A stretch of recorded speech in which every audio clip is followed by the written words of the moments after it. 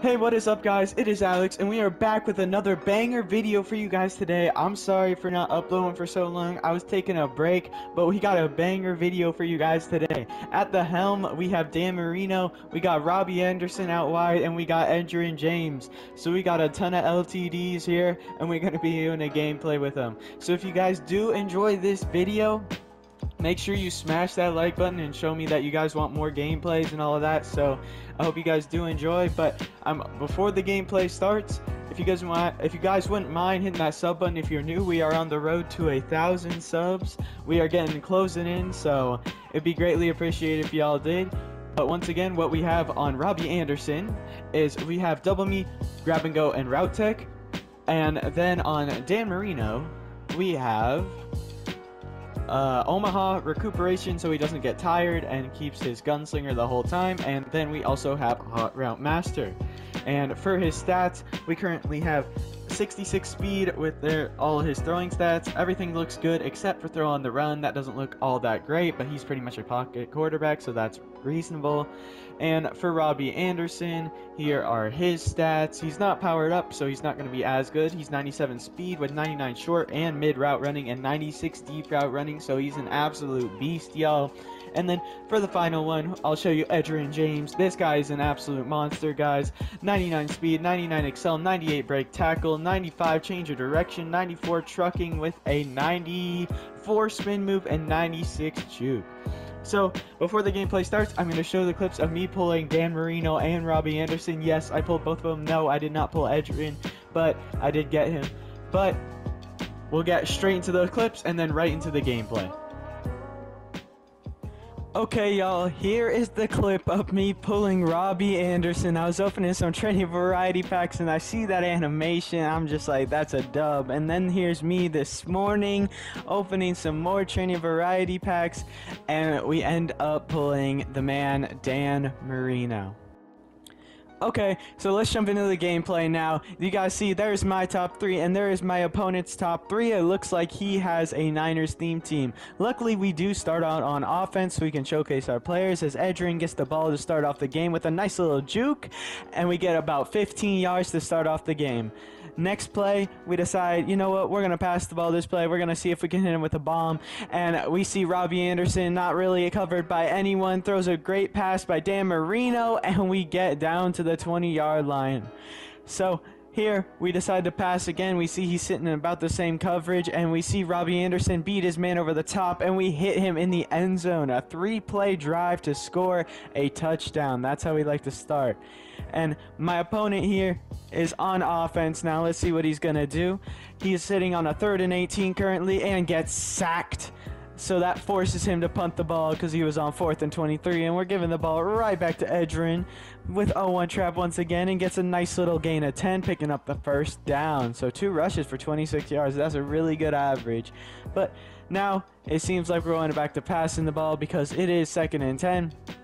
And we're looking for Robby once again. Nobody's on him. Great pass by Dan Marino all the way downfield. Perfectly led him for the touchdown as we go up 14 to 0 against my opponent. So now he started running the ball, being a lot more conservative, going down a deuce close, but he tries to pass on third and one, and we get the lurk there with Landon Collins. Try to hit a little stop and go. It's kind of hard to on next gen though, but we get the ball back for our offense. We see Robby Anderson as double me, but it's not gonna matter anyways because his defense is just absolutely horrible. Leaves him wide open in the corner of the end zone, and my opponent has had enough. Up 20 to zero. Dan Marino, 100% completion percent.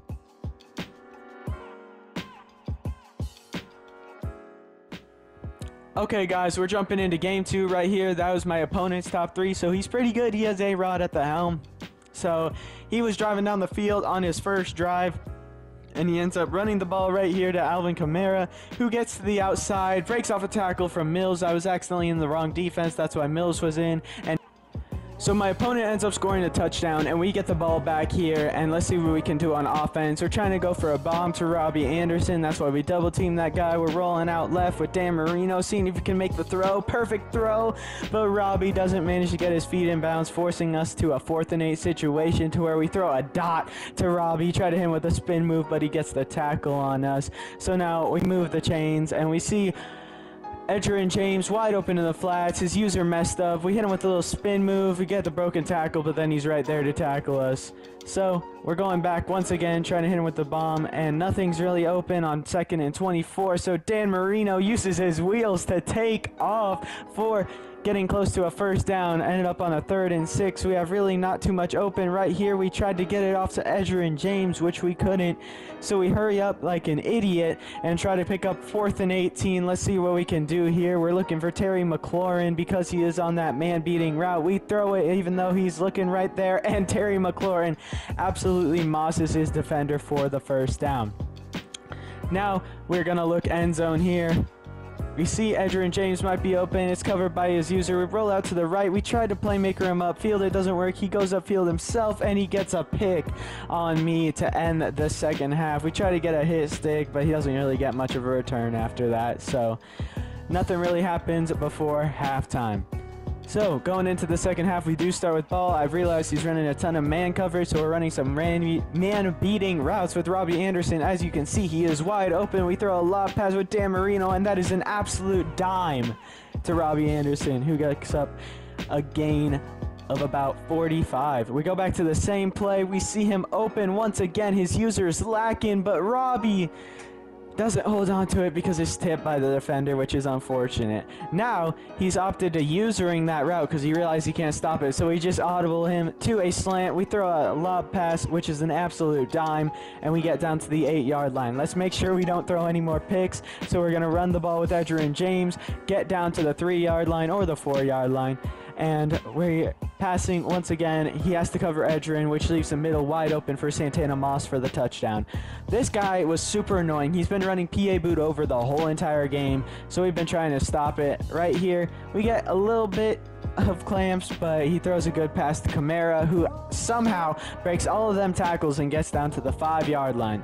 So, of course, he's still coming out and trying to run PA boot over every play, the most OP play in this game but he doesn't see anybody open and we get Montez to come sack him which gives us a little bit of breathing room.